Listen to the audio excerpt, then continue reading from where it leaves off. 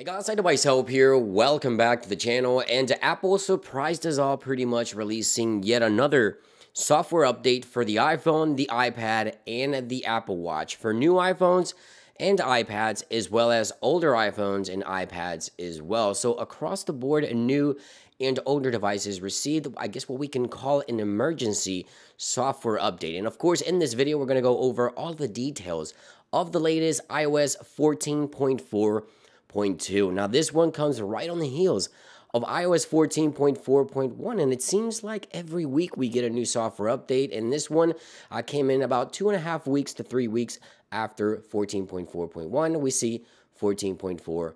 0.2. Now, again, this one is available for iPads as well and for the Apple Watch. WatchOS 7.3.3 is now available as well. Now, why would Apple release a new software update here?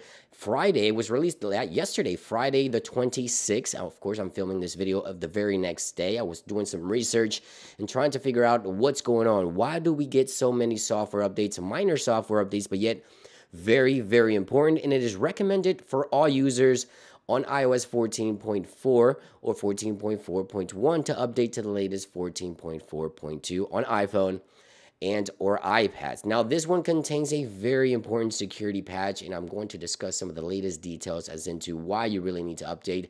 Here is the latest software and the build number for this one is going to be 18D70. So that's going to be the latest build number for the latest iOS update. Now, it looks like Apple continues to release software updates in terms of security patches.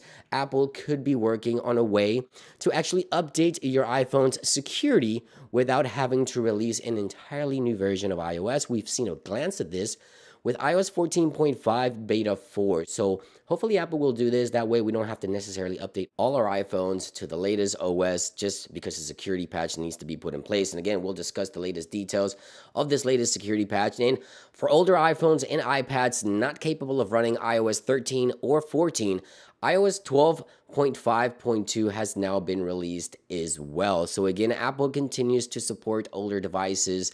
They're not leaving these older devices behind. They know a lot of customers do use these iPhones for different purposes and they continue to patch the software if there's any security flaws that need to be patched. In this one, let's go ahead and take a look here at some of the security uh, release notes about security content of iOS 14.4.2 and iPadOS 14.4.2.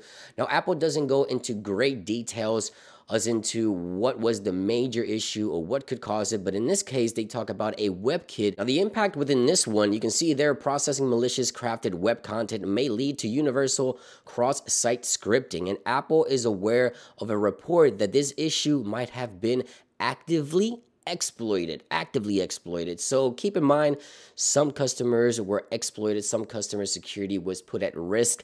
And with this security vulnerability within iOS, so Apple needed to release this software update. So that's why they released it on a Friday, which is not usual for Apple to do. This was sort of an emergency update.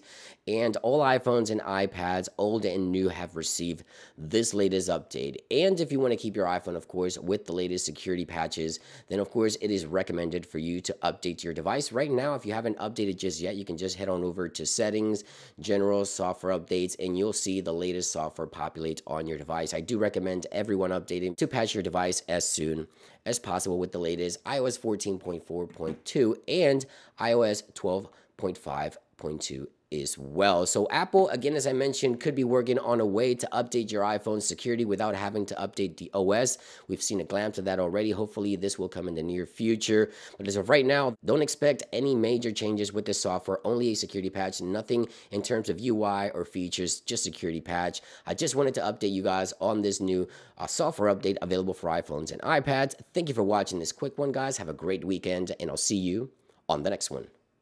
Peace.